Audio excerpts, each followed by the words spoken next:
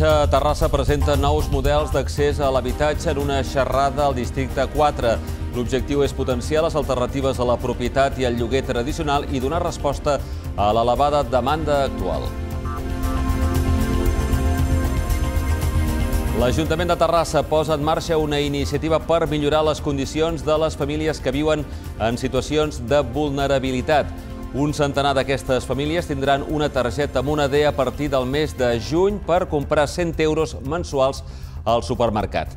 Aquesta mesura, que ja havia aprovat Creu Roja, s'extendrà en els propers anys. L'objectiu és passar dels ajuts assistencials a d'un model més proactiu, on les famílies gestionin l'economia domèstica.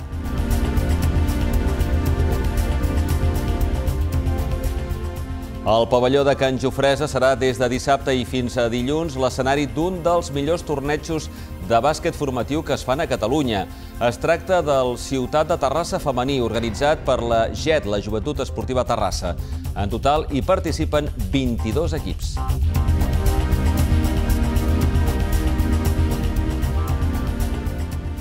El xef terrassenc Marc Ribas serà el pregoner de la Festa Major de Terrassa d'enguany.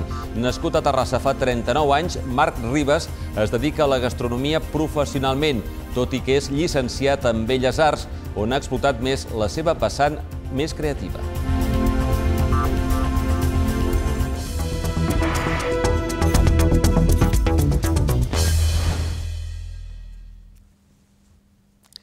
Què tal? Benvinguts. Bona tarda. Terrassa ha posat en marxa el nou programa de mobilització d'habitatges buits, el qual vol facilitar l'accés a l'habitatge mitjançant diferents models que facilitin la revitalització del parc d'habitatges en desús.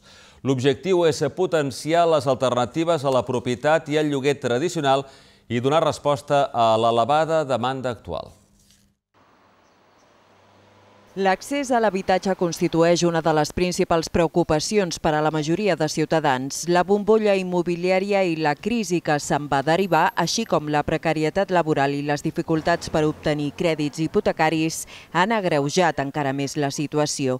Però paral·lelament es dona la circumstància que existeix un notable parc de pisos en desús. Per contribuir a resoldre aquesta paradoxa, Habitatge Terrassa vol posar sobre la taula nous models que facilitin aquest accés més enllà de la compra o del lloguer. Amb la intenció de debatre les diverses alternatives, aquest dimecres s'ha celebrat la jornada Dona una nova vida a l'habitatge al Centre Cívic Maria Aurelia Capmany. El nou programa Mobilització d'habitatges buits, impulsat per l'Ajuntament de Terrassa, planteja diferents opcions, pensades per donar resposta a un ampli ventall de casuístiques. En destaca, per exemple, la masoveria urbana, una fórmula en la que els propietaris cedeixen l'ús del seu habitatge als usuaris que n'assumeixen la rehabilitació i el manteniment a canvi de viure-hi durant el temps estipulat, o el cohabitatge, model en què una cooperativa compra un habitatge i en cedeix l'ús als seus membres. Es tracta d'una bona opció per a persones grans que no volen viure soles i que prefereixen fer-ho en comunitat.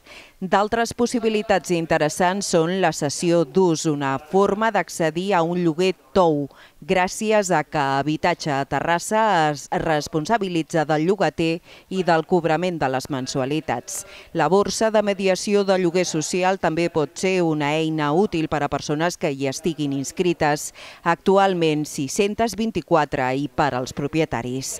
És previst que aquesta xerrada es repeteixi a tots els districtes de la ciutat.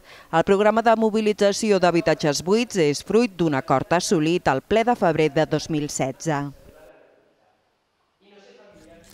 Avui dijous tenim ple municipal de l'Ajuntament de Terrassa i com és habitual aquests dies els partits de l'oposició presenten les seves propostes. Terrassa en Comú en portarà una per potenciar i visibilitzar l'esport femení. Els comuns proposen fer-ho a través del web terrassa.cat i unes jornades periòdiques de promoció de l'esport femení. Terrassa en Comú vol que l'esport femení de competició sigui més visible.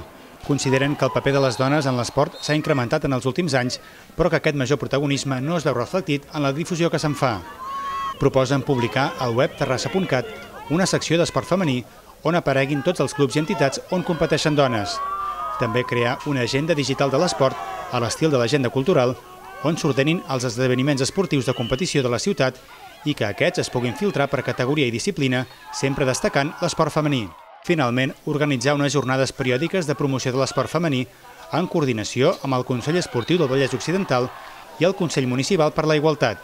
Les esportistes en general no té la presència mediàtica ni la rellevància social eh, necessària, no? això té a veure evidentment amb, amb com es concep el paper de la dona a l'espai públic i amb tots els estereotips, amb tots els prejudicis que hi ha, i la reivindicació de que, que oferir referents mediàtics de dones esportistes no només ajuda a l'esport femení en el sentit de que la gent té referents i pues, anima que t'apuntis a la pràctica esportiva, sinó que ajuda també a pensar o visualitzar com les dones conquereixen l'espai públic. Terrassa en Comú, juntament amb Esquerra Més, presentaran, en nom de l'ADENC, un acord de Junta de Portaveus per la recuperació d'un camí senyalitzat de caminants i ciclistes que connecti Terrassa i Sabadell. Per fer un seguiment del projecte, també proposen que es creï una comissió entre els ajuntaments de les dues capitals. Per la seva banda, la CUP portarà al ple municipal d'aquest mes una proposta per eliminar actituds masclistes al transport públic. Una de les que destaquen els copaires és el que es coneix com a manspreading, Potser molts homes la fan sense adonar-se'n, però ocupen espai als seus companys de viatge. Són imatges quotidianes i habituals preses al transport públic de Barcelona. Són homes asseguts i amb les cames obertes i per la CUP és una forma d'expressió masclista. Els copaires creuen que aquestes actituds envaeixen l'espai de les dones que intenten asseure's al costat aquí els mecanismes... És una de les tantes actituds del que anomenen masclisme hegemònic i que la formació d'esquerres vol combatre. Per això presenta el ple de dijous una proposta de resolució per eliminar les desigualtats de gènere i fugir del rol masculí com a dominant. Entre d'altres mesures, hi ha campanyes de sensibilització al transport públic per combatre aquesta pràctica, coneguda com a manspreading. També campanyes contra la violència masclista perquè els homes assumeixin rols familiars tradicionalment femenins o l'organització d'un cicle formatiu anual per fer visible que hi ha altres formes de masculinitat alternatives. La CUP demana a l'Ajuntament que destini pressupost per a aquestes campanyes i que aquest no es tregui d'altres accions de polítiques de gènere. Que les dones segueixen um, assumint aquelles feines que tenen més a veure amb els rols de submissió i els homes estan assumint aquelles feines que tenen més a veure amb els rols creatius o, o, o de diversió o més reconeguts. Com podria ser un exemple clar, les dones eh, entre escombrar i cuinar, els homes serien els que cuinarien i les dones serien les que escombrarien. La CUP també presentarà una proposta de resolució de suport als teleoperadors de l'empresa Emergia i demanant que l'Ajuntament s'impliqui en el conflicte laboral. expressar la seva posició L'Ajuntament posa en marxa una iniciativa per millorar les condicions de les famílies que viuen en situacions de vulnerabilitat. Un centenar d'aquestes famílies tindran una targeta moneder per comprar 100 euros mensuals al supermercat. Aquesta mesura, que ja havia aprovat Creu Roja, s'extendrà en els propers anys. A partir del mes de juny, 100 famílies determinades pels serveis socials podran comprar als supermercats Bonària amb unes targetes moneder. Rebran una càrrega de 100 euros mensuals mentre duri la seva situació de vulnerabilitat i en facin un ús correcte i participin en tallers d'alimentació i estalvi energètic. La iniciativa busca ampliar una prova pilot que Creu Roja ha realitzat amb uns 60 usuaris. De moment, l'Ajuntament destina 120.000 euros a finançar aquestes targetes, però la mesura s'estendrà progressivament. El 2018 seran 300 els nuclis familiars que les utilitzaran i més endavant la meitat dels usuaris del rebost. L'objectiu del regidor de Serveis Socials és canviar de paradigma, passar dels ajuts assistencials a un model més proactiu, on les famílies gestionin l'economia domèstica i recuperin la dignitat. El hecho de tener tu tarjeta para poder decidir qué es lo que compras, Eh, simplemente eso ya, ya te hace vivirlo de otra manera. Aquí se está ayudando a familias en una situación muy difícil. No estamos financiando a nadie que se haga rico y menos con alimentación y productos de primera necesidad. Ya es un tema que también hay que frenarlo cuanto antes. El nombre d'usuaris del rebost va baixar en 2016 per primera vegada des de l'inici de la crisi. La xifra és encara alarmant. 11.765 persones van necessitar l'ajut d'aquesta xarxa social de distribució d'aliments l'any passat, però són un 9% menys que el 2015. Per a Duque, però, la fórmula ideal hauria de ser l'entrada en vigor de la renda garantida de ciutadania. Esto nos ayudaría no solo a que la gente tuviera cubiertas sus necesidades, sino también a descolapsar los servicios sociales y empezar a trabajar proyectos eh, que ayuden a la gente a, a volverse a reenganchar a, a, su proyecto de vida. ¿no? Mm, sería un efecto dominó muy interesante. Aquesta prestació pretén garantir uns ingressos mínims a les persones en situació de pobresa, però no té data d'implementació. Tres projectes del Consorci Sanitari de Terrassa han rebut finançament del Pla Estratègic de Recerca i Innovació en Salut els Peris. El conseller de Salut, Antoni Comín, ha estat l'encarregat de lliurar els ajuts a la recerca. L'acte ha plegat a investigadors i professionals de 19 institucions i centres de recerca del país que han obtingut ajuts del Peris per un import superior als 18 milions d'euros amb l'objectiu d'estimular la investigació en l'àmbit dels hospitals i dels centres d'atenció primària de Catalunya. Els ajuts d'investigació que ha rebut el Consorci Sanitari de Terrassa són pels treballs d'Anna Junquer, infermera d'hemodiàlisi, Maria Creta Llistosella, infermera del CAP Terrassa Nord, i Rosa Maria Garcia, de l'àrea ambulatòria de l'Hospital de Terrassa.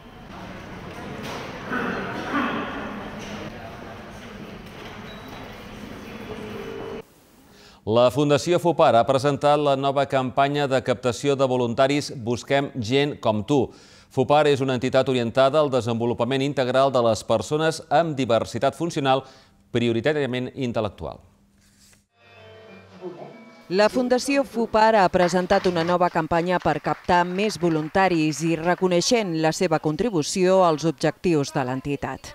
La campanya porta per títol Busquem gent com tu i s'ha fet pública aquest dimecres a la tarda al bar de la Casa Bauman. Durant la sessió s'han estrenat vuit curtmetratges que narren les vivències de vuit voluntaris de FUPAR, monitors de tennis, taula, d'informàtica, de manualitats o de teatre, per exemple. Els vídeos vídeos mostren com aquests voluntaris treballen cada dia amb els usuaris de la Fundació. FUPAR és una entitat orientada al desenvolupament integral de les persones amb diversitat funcional, prioritàriament intel·lectual. Per fer-ho, situa les persones en el centre del procés vital i els ofereix suport psicològic, ocupacional i social sota criteris ètics d'excel·lència, innovació i equitat. Per aquest motiu, els voluntaris com a recurs humà són indispensables des de la creació de l'entitat ara fa més de 20 anys. El programa de voluntariat de FUPAR s'anomena En xarxa, és d'abast comunitari i promou la interrelació entre les persones que formen part de l'entitat i l'entorn. Actualment, la xarxa està formada per una seixantena de voluntaris que realitzen activitats socioeducatives, esportives i comunitàries. Aquesta nova campanya de captació de voluntaris també servirà per millorar la presentació i la difusió del programa Enxarxat. Segons un informe de la Universitat Autònoma de Barcelona, un de cada cinc ciutadans europeus està exposat a un soroll ambiental per sobre del llindar que assenyala la directiva de la Unió Europea. El problema s'agreuja a les grans ciutats on les persones experimenten trastorns del son i altres problemes de salut vinculats a l'accés de renou.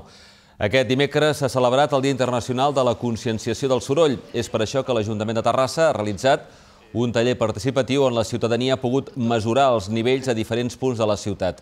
A més, el consistori farà difusió de la xarxa de vigilància del soroll de la ciutat. Des de febrer, set aparells instal·lats als carrers recullen aquestes dades per poder fer-ne un seguiment.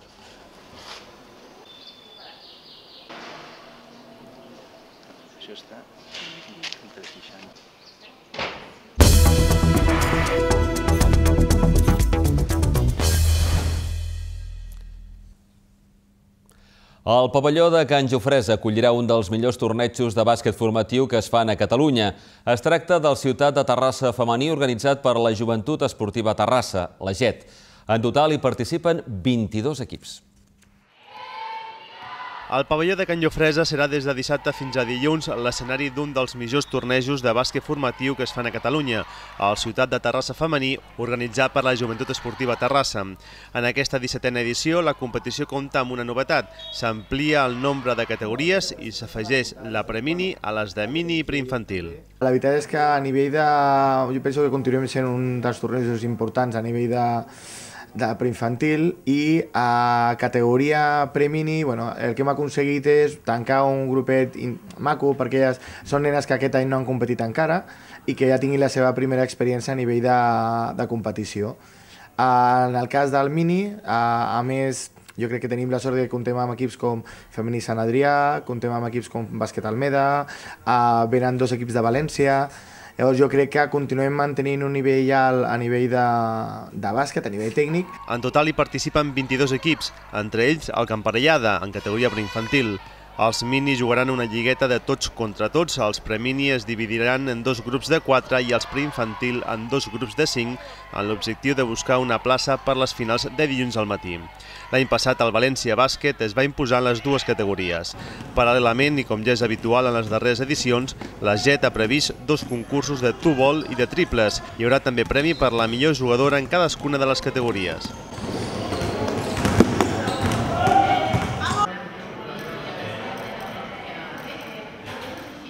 No deixem el bàsquet ni tampoc la joventut esportiva a Terrassa perquè precisament una exjugadora del club agarenc, Helena Fernández, ha estat rebuda aquest dimecres per l'alcalde Jordi Ballart a l'Ajuntament.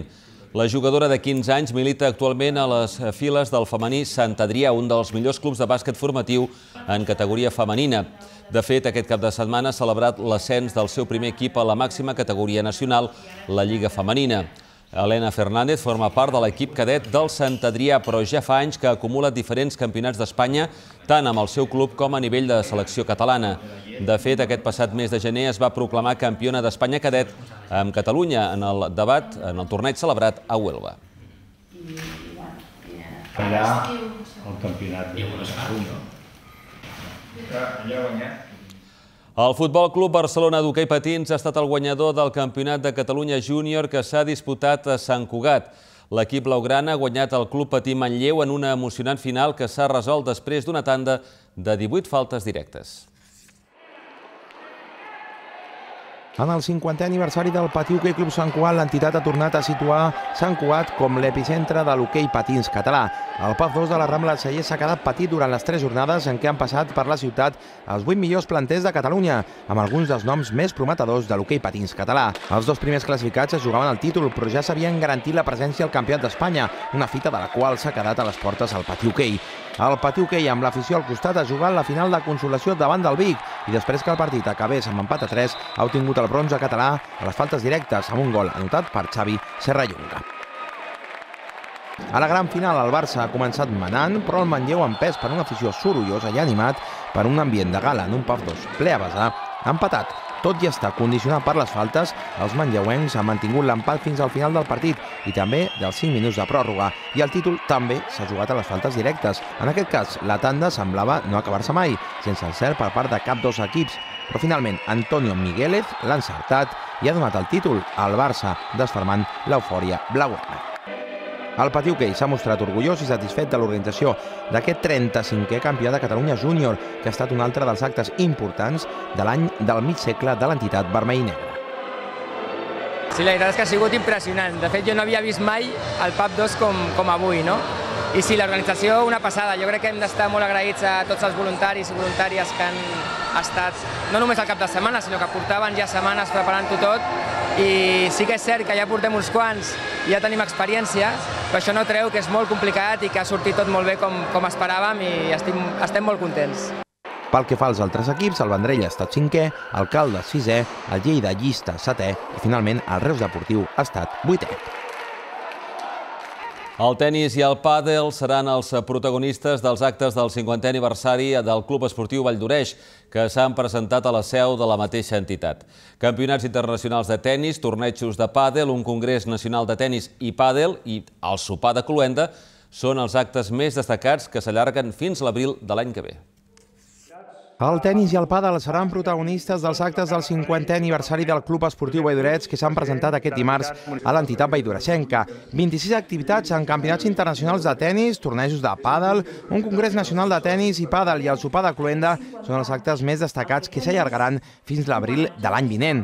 L'onzena edició del Futures BTT Tennis Academy Ciutat de Baidorets entre el 6 i el 14 de maig, el setè Open ITF Senior entre el 28 d'agost i el 3 de setembre i el setè torneig Padelcat entre el 18 i el 24 de setembre, juntament amb el cinquè torneig solidari Força Miquel, són les activitats esportives més destacades de l'aniversari. Un quadrangular de futbol, una diada infantil, una obra de teatre i una exposició dels 50 anys de l'entitat completa en els actes. La presentació d'aquest calendari d'activitats també ha servit per veure el logo de l'entitat, creat per l'artista Paco Minuesa, i un vídeo històric del club. El més important dels clubs és el teixit esportiu i social que fa i el més important són les persones. Si no existeix la força de les persones, la veritat és que no hi ha una fidelització dels socis i no hi ha una contribució d'ells a que això sigui possible. L'alcaldessa Mercè Conesa, el president de la Federació Catalana de Tenis, Joan Navarro, el gerent de la Federació Catalana de Pàdel, Javier Casadesús, i el representant territorial de l'esport a Barcelona, Santi Siquier, han presidit l'acte.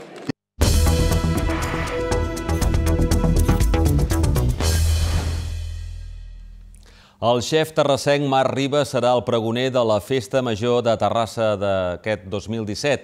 Nascut a la nostra ciutat fa 39 anys, Marc Ribas ha acceptat la proposta que li ha fet l'alcalde Jordi Ballart perquè llegeixi el pregó de la Festa Major d'enguany. Ribas es dedica a la gastronomia professionalment, tot i que és llicenciat en Belles Arts, on ha explotat més la seva vessant més creativa. De fet, ha estat a les cuines de restaurants com Vitrium, Can Ferran, Capritx i Matís. En l'actualitat és el presentador del programa Cuines de TV3. També acaba d'estrenar-se com a presentador de Joc de Cartes a la mateixa cadena de televisió autonòmica, un concurs sobre restaurants. Immortalitzada en aquest llibre que ara va, va fer i va veure la. La segona edició del projecte d'art comunitari Terrassa Street Art ja és en marxa. La seva convocatòria parteix del propòsit d'utilitzar l'art com a eina d'integració i cohesió social i fomentar la vivència artística i la participació. Disciplines diverses com el cant coral, les arts escèniques, la dansa i les arts visuals seran les protagonistes. Després d'aixecar el taló l'any passat, el Terrassa Street Art arriba a la seva segona edició. Es tracta d'un projecte que utilitza l'art com a eina de cohesió i d'integració social. La iniciativa, impulsada per Barcelona Classic Concert i el Servei de Cultura de l'Ajuntament, obre la porta a tots els terrassencs per tal que puguin experimentar la vivència artística en un esdeveniment innovador i de gran envergadura. Després de ser presentat aquest dimecres, el Terrassa Street Art comença ara amb la fase de captació de participants. Volem, per tant, que terrassencs i terrassenques participin al màxim de les iniciatives de creació cultural que sorgeixen a la ciutat, a la nostra ciutat. Participar, difondre i accedir a la cultura són conceptes claus per nosaltres i s'adapten perfectament a aquest projecte. Es tracta de construir un grup humà el més heterogeni possible, els usuaris del qual participaran en una sèrie de tallers artístics de cant coral, arts escèniques, dansa i art visual. Aquestes sessions es duran a terme principalment a les biblioteques municipals per tal d'acostar l'art a la ciutadania i fer la participació més accessible. Nosaltres ens apropem a la gent no? i diem, què saps fer? I mirem què saben fent. I doncs el que busquem és cada element que ens arriba, com integrar-lo a partir de les seves capacitats. Tot aquest treball progressiu culminarà amb una òpera collage que durà per títol L'idioma de la pau, un espectacle multidisciplinar dirigit per Joan Martínez Colàs que se celebrarà el 7 de juliol a l'escenari Vela del Parc de Vallparadís. Són, hi ha artistes novells i artistes professionals, però l'objectiu principal és fer protagonista persones que mai han pujat a dalt de l'escenari. Està sobretot orientat amb infants i joves, però és, està obert a tota la ciutadania. La participació al projecte és gratuïta i no es necessiten coneixements previs. Es pot consultar el calendari dels tallers al web del projecte operacollage.com. L'alcalde de Terrassa, Jordi Ballar, s'ha reunit aquest dimecres a la tarda amb una delegació de la Junta, de la nova Junta Directiva dels Castellers de Terrassa. La delegació dels Castellers ha estat encapçalada pel nou president de la colla, Hilde Rojas, i el nou cap de colla, Joan Enric Pujol. Durant la reunió, la nova Junta s'ha presentat a l'alcalde i li ha exposat els seus projectes. A la trobada també ha estat present el regidor de Cultura, Jordi Flores. La de gent gran Maruja Rambla assistirà a l'actuació, eh, ha assistit a l'actuació del coro Rociero de Can Roca, Rondalla de les Arenes i a la desfilada de vestits. Ha estat un acte organitzat aquest dimecres a la tarda pel Servei de Promoció de la Gent Gran de l'Ajuntament de Terrassa i la Federació de Centres i Associacions de Gent Gran de Terrassa i Comarca. L'activitat s'ha dut a terme al Centre Cultural. I continuem amb el programa. Ara toca els vestits modernistes i ja és tocada i els complements, molt bé, i el cost és de blonda transparent i la faldilla és de vellut. Aquest vestit també és principi... Doncs amb aquesta informació tanquem l'informatiu al dia. Gràcies per fer-nos costat. Tornem demà. Bona tarda.